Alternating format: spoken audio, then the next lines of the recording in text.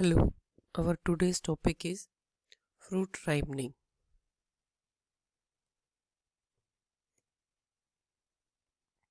Fruit. What is fruit? In the development of a plant, fruit is the final stage in reproductive development.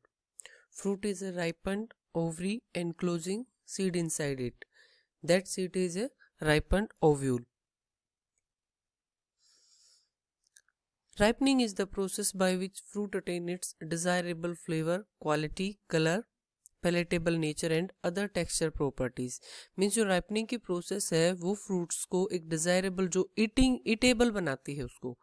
कि जो भी हमें flavour उसमें अच्छा लगता है जो खाने के लिए जो उसका कलर होता है जो क्वालिटी होती है टेस्ट होता है तो ये जो सारी प्रॉपर्टीज़ हैं ये सब जब एक फ्रूट अटेन कर लेता है desirable properties for eating that is through the process of ripening.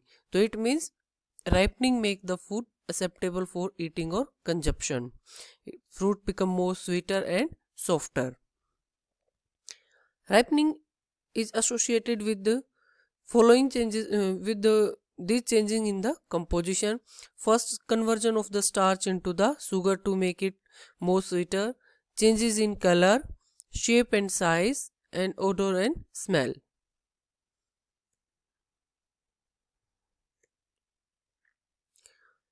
Mechanism of fruit ripening. Un this is unripe fruit. It produces ethylene. That ethylene induce or turn on the various gene for various enzyme synthesis that make it more sweeter, soft and changes in color. These gene produce the various enzymes and these uh, enzymes degrade various parts of the fruit like degradation of the chlorophyll less production of the acids conversion of starch into the sugars pectin degradation etc and which ultimately resulting into the ripening of the fruit. And this ripening of the fruit ultimately increase or decrease the production of ethylene. This is the mechanism of ripening by ethylene production. This is the malonyl ACC enzyme or ACC malonyl ACC and ACC enzyme ACC synthase enzyme uh, in S this convert S adenosyl methionine into aminosine cyclopropane carboxylic acid that is ACC A ACC is converted uh, ACC is oxidized with the help of enzyme ACC oxidase and production of ethylene C2H2 which results in the changes in texture of the fruit, color of the fruit and taste of the fruit. If deamination of this ACC occurs to the alpha keto butyrate by overexpressing of ACC enzyme also inhibit the ethylene formation and fruit ripening.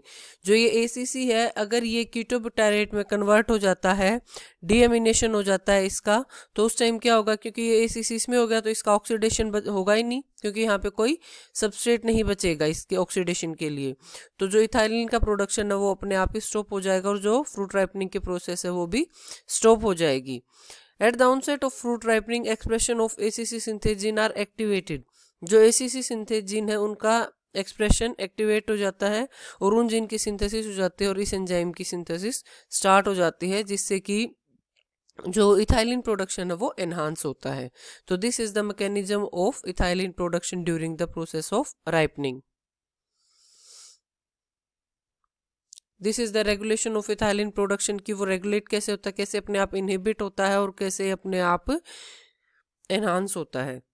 तो जो methionine है methionine is the precursor of ethylene synthesis in the presence of enzyme SAM synthetase methionine is converted into SAM S adenosyl methionine S adenosyl methionine is converted into ACC in the presence of enzyme ACC synthase that is ACC again oxidized by the enzyme ACC oxidase into ethylene perception of ethylene by its binding receptor to ethylene binding receptor, जो इसका perception होगा cell में, इसको accept करेगी cell with the help of many receptors उसके बाद उसके responses आएँगे जो राइपनिंग है फ्रूट का कलर चेंज होगा फ्रूट का साइज़ इंक्रीज होगा सेनिसेंस होगी एक्सेट्रा अब ये जो इथाइलिन का प्रोडक्शन है, कैसे इस, ये सेल्फ रेगुलेटरी है। अपने आप ही एनहांस होगा और अपने आप ही डिक्रीज होगा। तो auto inhibition of ethylene production जब ज़्यादा प्रोड्यूस हो जाती है तो उस टाइम क्या करेगा? जो ए सी सिंथेज एंजाइम है, इसको इनहिबिट कर देगा। तो इसको इनहिबिट कर देगा तो जो मिथ्योनिन का प्रोडक्शन है, वो स्टॉप हो जाएगा। या फिर इसको एनहांस करना है, जो फ्रूट राइपनिंग की प्रोसेस स्टार्ट हुई है तो उसके जस्ट बाद इथाइलिन का प्रोडक्शन है, वो ज़्यादा चाहिए फ्रूट को डेवलपमेंट के लिए। तो उस टाइम पे क्या करेगा इसका? ऑटो इंडक्शन होगा इथाइलिन का। By the enhancing by enhancing the enzyme ACC oxidase and ACC synthase so in this way ethylene production is a self regulatory role of ethylene in fruit ripening कि क्या काम करता है ethylene fruit ripening में? First जो हमने इसमें देखा था कि ये अपनी जो सिंथेसिस है, उसी को प्रमोट करता है। External ethylene hastens climacteric rise in climacteric fruit accompanied by a increase in oxygen uptake क्यों? क्लाइमेट्रिक राइज होगा तो जो रेस्पिरेशन है वो इंक्रीज हो जाता है क्लाइमेट्रिक फ्रूट्स में सडनली तो रेस्पिरेशन में क्या होता है? ऑक्सीजन का इंटेक होता है और सी का आउट होती है. तो इसकी वजह से क्या होगा? जो ऑक्सीजन का इंक्री अपटेक है वो एकदम से इंक्रीज हो जाएगा. And this process is not reversed external ethylene increase respiration जो नॉन क्लाइमेट्रिक फ्रूट है, उसमें एक्सटर्नल इथाइलिन अगर हम प्रोवाइड करते हैं, उसमें इंटरनल इथाइलिन प्रोड्यूस नहीं होगा, जो कि इंक्रीज नहीं करेगा रेस्पिरेशन रेट को, उसमें रेस्पिरेशन रेट हम कैसे इंक्रीज कर सकते हैं? एक्सटर्नली उसको इथाइलिन प्रोवाइड करके। Ethylene production is largely pre determine in both time and amount by the genetics of the fruit fruits के अंदर जो जीन्स होते हैं, उनके अकॉर्डिंगली वो ऑलरेडी डिटरमाइंड होता है कि किस टाइम इथाइलिन का प्रोडक्शन होगा और किस अमाउंट में होगा। During ripening both carbon dioxide and ethylene increase significantly क्यों? इथाइलिन इंक्रीज होगा, उसकी वजह से जो रेस्पिरेशन का प्रोसेस है क्लाइमेट्रिक फ्रूट्स में वो इंक्रीज होगा, और रेस्पिरेशन इंक्रीज होगा तो कार्बन डाइऑक्साइड की जो अमाउंट है, वो भी इंक्रीज होगी। Changes during ripening in the fruits chlorophyll degradation जो पिगमेंट डिग्रेडेशन होगा टेक्सचरल सॉफ्टनिंग आपने देखा होगा जब फ्रूट कच्चा होता है तो उस टाइम पे इतना सॉफ्ट नहीं होता, बाद में वो सॉफ्ट हो जाता है। सेल वॉल डिग्रेडेशन वो सेल वॉल की डिग्रेडेशन हो जाती है तो उसी की वजह से ये टेक्सचरल सॉफ्टनिंग आती है, उसमें increase in rate of respiration respiration का रेट एकदम से इंक्रीज हो जाता है specially in climacteric fruits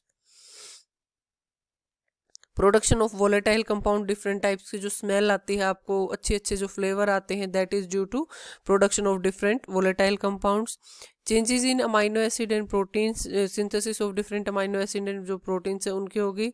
hydrolysis of starch जो शुगर, जब फ्रूट्स अनराइपन्ड होता है तो उस टाइम पे उसका टेस्ट जो है वो स्वीटर नहीं होता मिली टेस्ट होता है। तो वो जो स्वीटर टेस्ट आता है वो किसकी वजह से आता है? जो स्टोर स्टोर्ड स्टार्च होता है that is converted into sugar and involvement of different enzyme जो भी ये सारी जो प्रोसेस होंगी वो किसकी हेल्प से होंगे by involving different enzymes. So, we will discuss all the changes one by one in coming slides. Increase in rate of respiration जो स्टोर्ड मटेरियल है, जैसे स्टार्च है that is converted into the simple end product in sugar and by the way by through this process energy is also produced movement of fructose from vacuole to cytoplasm जो vacuole में fructose store था that is come to the cytoplasm. Uh, which make the fruits more sweeter respiration decline gradually throughout the season until several weeks before it ripen जो ripe respiration का process है, वो जब भी fruit की development होती है, जो प्लांट की डेवलपमेंट होती है, उस टाइम पे वो धीरे धीरे धीरे धीरे डिक्रीज होता रहता है। पर जैसे ही फ्रूट्स राइपन होता है, उससे कुछ वीक पहले वो एकदम से शार्पली इंक्रीज हो जाता है। Just before ripening metabolic function of fruits are near resting stage जो फ्रूट की राइपनिंग की प्रोसेस होती है, उससे पहले जो मेटाबॉलिक फ़ंक्शन है, वो लगभग नेग्लिजिबल होते हैं। उनका जो रेट होता है वो बहुत कम होता है। मेटाबॉलिक फ़ंक्शंस बहुत कम होते हैं बट जैसे ही रैपनिंग की प्रोसेस शुरू हो जाती है तो वो एकदम से उनकी जो रेट है वो हाई हो जाता है। There are two pathway in conversion of starch और sugar to glucose six phosphate starch और शुगर को ग्लूकोज सिक्स फॉस्फेट में कन्वर्ट करने के लिए दो पाथवेज हैं। Glycolysis pathway and pentose phosphate pathway next था क्लोरोफिल और पिगमेंट डिग्रेडेशन जो क्लोरोफिल है that is degradation of chlorophyll in presence of chlorophyllase enzyme जो क्लोरोफिल है, जो क्लोरोफाइलेज एंजाइम है that break down the chlorophyll into phytol chain and the porphyrin phytol chain और porphyrin में इनको कन्वर्ट कर देगा. तो जो पोरीफायरिन चेन है that loses the magnesium ion and converted the porphyrin chain into pheophytin changes in the tetrapyrrolic chain it become bili जो ये चेन है, ये कन्वर्ट हो जाएगी बिलीविडिन में and ultimately converted into the pheophorbide that is a brown colour substance and oxidation of the double bonds occur at resulting in the synthesis of the colourless products so in this way chlorophyll is degraded textural softening textural softening uh, texture जो है fruits का वो किन चीज़ों से बनता है उसकी फ्रिमनेस क्या है वो कितना टाइट है वो कितना क्रिस्पी है कितना जूसी है और कितना हार्डी है। ये जो चारों फैक्टर्स हैं that make the all over texture of the fruit textural softening is the result of enzymatic degradation of structure well as storage polysaccharide. जो भी प्लांट जो फ्रूट्स के अंदर स्टोर्ड है पॉलीसेक्राइड्स और जो उसकी सेल वॉल है, उनके जो स्ट्रक्चर है, उसको डिग्रेड करता है। That result in the textural softening जो स्टार्च है, उसका ब्रेक डाउन होगा। ब्रेक डाउन ऑफ़ सब्सटेंस जो सेलुलर रिजिडिटी है, उसको रिड्यूस करेंगे and ultimately all the after this all these changes fruit become soften ये जो ग्राफ दिखाया हुआ है फ्रूट फ्रिमनेस का जो परसेंटेज है विद द टाइम तो रिस्क जो एक्जोजीनस इसको इथाइलिन प्रोवाइड करवाते हैं तो उस टाइम से क्या होगा? जैसे इथाइलिन इसको एक्जोजीनस इथाइलिन प्रोवाइड किया फ़ेज़ वन है इनिशिएशन फ़ेज़ उस टाइम पे क्या होगा? जो स्टार्च है उसका डिग्रेडेशन स्टार्ट हो जाएगा। फिर फ़ेज़ टू है फ़ेज़ टू में क्या होगा? जो पैक्टिन सब्सटेंसेज हैं सेल वॉल में, उनका सोलिबलाइजेशन स्टार्ट हो जाएगा। तो वो जो अनसोल्यूबल पैक्टिन्स थे, वो that become the soluble pectin उसके बाद रैपिड सॉफ्टनिंग शुरू होगी, जैसे ही पैक्टिन का सोलिबलाइजेशन शुरू होता है। ये जो पैक्टिन है, फिर डिपोलिमराइजेशन होगा गलेक्टोज का लॉस हो जाएगा इसमें से। उसके बाद फ़ेज़ थ्री है ईटिंग विंडो मीन्स जो फ्रूट है वो खाने लायक हो जाता है एक्सेप्टेबल हो जाता है इसमें। तो उस टाइम पे क्या होता है, उसमें अरोमा प्रोडक्शन होती है। आप देखोगे ना फ्रूट्स की स्मेल से पहचान लेते हो आपकी मैंगो है या क्या है। तो वो क्या होता है due to the aroma of volatile compound जो रेस्पिरेटरी राइज होगा, इसमें जो क्लाइमेट्रिक फ्रूट्स होंगे, उसमें पैक्टिन का डिपोलिमराइजेशन हो जाएगा कंप्लीटली तो इस टाइम पे क्या है, वो फ्रूट खाने लायक हो जाएगा। बट इसके बाद जो फ्रूट है, वो ओवर राइप हो जाता है। उसका जो सॉफ्टनिंग है, वो एक्सेस सॉफ्टनिंग हो जाती है लॉस ऑफ़ मिडल लेमला हो जाता है तो वो ओवर राइप हो जाता है। वो ईटिंग के लायक फिर नहीं रहता। तो this is the textural softening of the fruit cell wall degradation and softening of fruits. जो प्लांट की सेल वॉल है that is compose of many polysaccharide protein cellulose hemicellulose and pectin substance due to activation of certain enzymes जो pectin substances होंगे that become more soluble and start depolymerization और जो ये more soluble हो जाएँगे pectin substances और उनका जो सोल्यूबलाइजेशन हो जाएगा, या डीपोलिमराइजेशन हो जाएगा तो उसकी वजह से क्या है सेल वॉल जो फ्रिमनेस है फ्रूट की, वो कम हो जाएगी because cell wall start degrading cell wall की डिग्रेडेशन की मेनली दो प्रोसेसेस हैं depolymerization and deesterification and various enzyme responsible for these processes are hydrolases pectin esterase polygalactouronase cellulase and beta galactosidase production of aroma volatiles जो fruit में special smell आती है तो वो किसकी वजह से है? जो डिफरेंट जो अरोमा वोलेटाइल्स है, उनकी सिंथेसिस होती है तो वो जो स्मेल है, वो उनकी वजह से होगी। Esters of aliphatic alcohol and short chain fatty acid are responsible for this aromas of the fruit In fruits, major volatile compounds are isoamyl acetate, aldehyde and terpenoid compounds.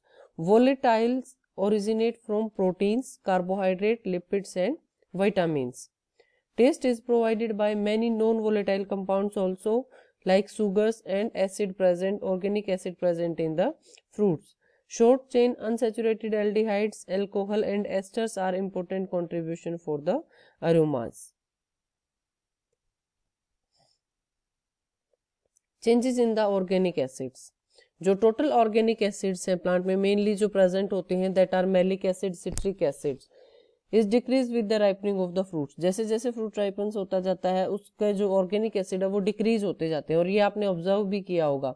जैसे मौसमी है, या जो भी सिट्रिक फ्रूट्स हैं, जब आप उसको जो अनराइपन होता है, जब कंज्यूम करते हैं तो that is more citrus due to presence of more citric acid in that जैसे जैसे वो राइपन होता जाता है इटेबल होता जाता है तो that become less citrus as compare to the unripen fruit तो जो कच्चा होता है, वो ज़्यादा खट्टा होगा due to presence of more citric acid in that और जैसे ही वो पकता है तो उसमें जो सिट्रिक एसिड है, उसका अमाउंट कम होती जाती है। तो उसकी वजह से वो क्या है? कम खट्टा हो जाएगा लेस सिट्रस हो जाएगा। तो यही राइपनिंग की प्रोसेस है कि जो ऑर्गेनिक एसिड्स हैं उनकी अमाउंट कम हो जाती है during the process of ripening decline in the content of organic acid during ripening result of increase in membrane permeability तो वो किसकी वजह से होती है? जो मेम्ब्रेन परमिएबिलिटी जो कंटेंट है वो डिक्रीज हो जाएगा और जिसकी वजह से जो मेम्ब्रेन परमिएबिलिटी है वो इंक्रीज हो जाएगी। जैसे ही राइपनिंग का ऑनसेट होगा तो जो मेम्ब्रेन परमिएबिलिटी है that will increase and causes reduction in the translocation from the leaves जो लीव्स में स्टोर्ड है, जो फोटोसिंथेसिस से जो फोटोसिंथेस स्टोर्स हैं, उनका जो ट्रांसलोकेशन हो रहा था फ्रूट्स में, वो रिड्यूज हो जाएगा। Conversion of stars to the sugar जो स्टोर्ड स्टार्स थी, वो उसका हाइड्रोलिसिस होकर वो सुगर में कन्वर्ट होना स्टार्ट हो जाएगी। एसिड जो होंगे ऑर्गेनिक एसिड्स जो हैं क्योंकि रेस्पिरेशन का process during the ripening process respiration का जो रेट है वो हाई हो जाता है। तो ये जो एसिड्स हैं उस रेस्पिरेशन में यूज़ हो जाएँगे। और रेस्पिरेशन की वजह से क्या रेस्पिरेशन होगा तो एनर्जी तो निकलेगी ना।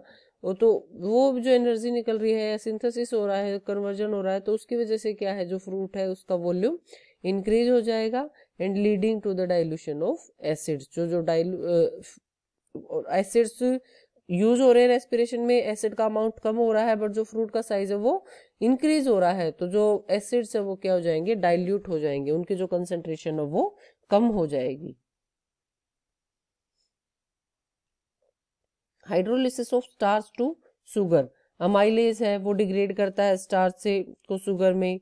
तो उसकी वजह से जो क्या है फ्रूट का जो मिली टेस्ट होता है दैट जो मिली क्वालिटी होती है दैट कन्वर्टेड इनटू जूसीनेस देखा होगा ना सिट्रस फ्रूट में, संतरे में या मौसमी में, जब वो कच्चा होता है अनराइपेंड होता है तो उस टाइम पे वो इतना जूसी नहीं होता, जो कि बाद में होगा, ऐसे ही मैंगो में।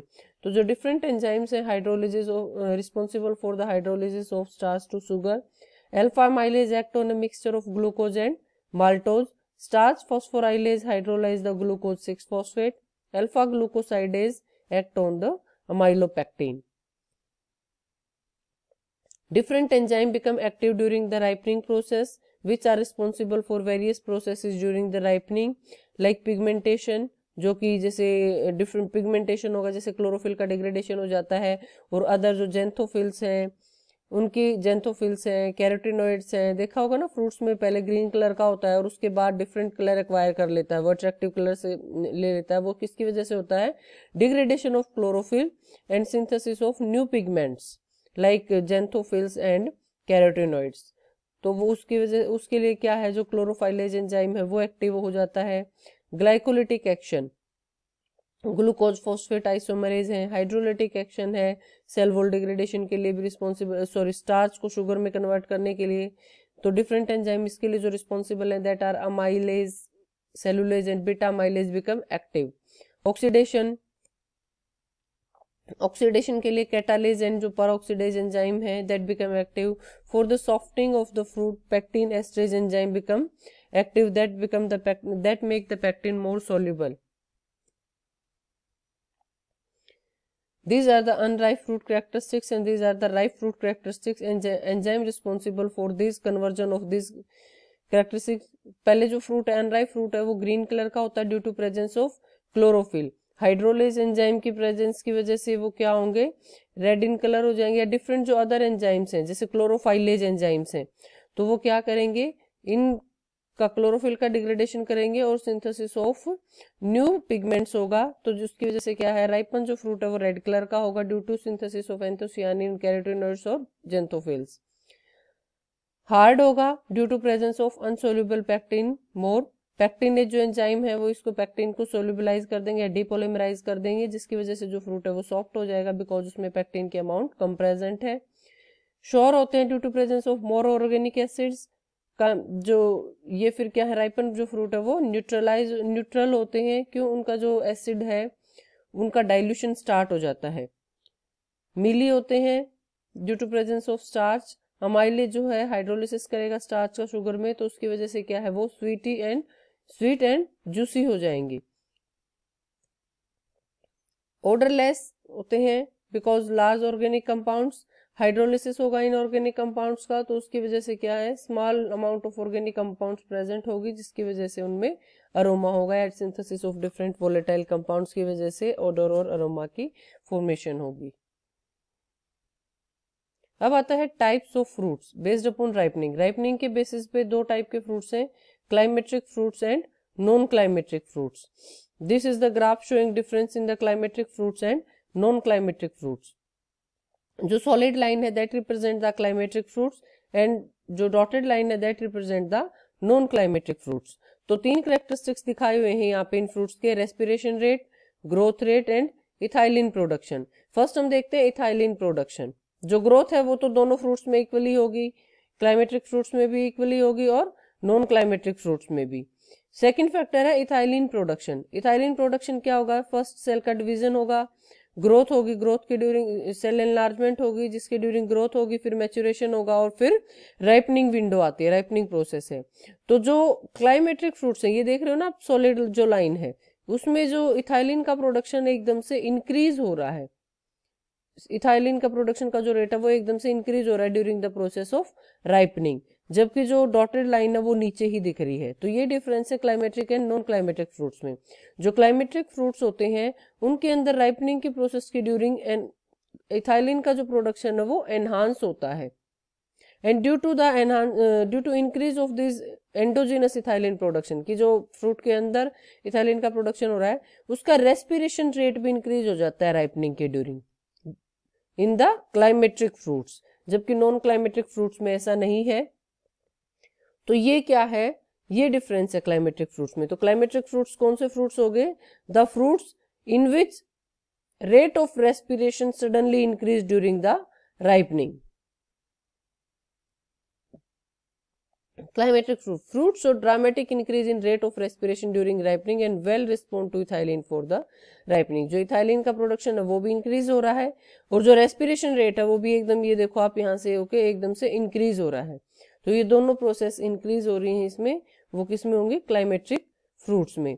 फॉर एग्ज़ाम्पल एप्पल है बनानाज है मैंगो है and tomato these are the climacteric fruits non climacteric fruits fruits do not show dramatic increase in rate of respiration during ripening and does not respond to the for the ripening. तो ये fruits क्या हैं? जिनमें ये देखो non climacteric fruits जो ये dotted line है इसके अंदर क्या इंक्रीज है?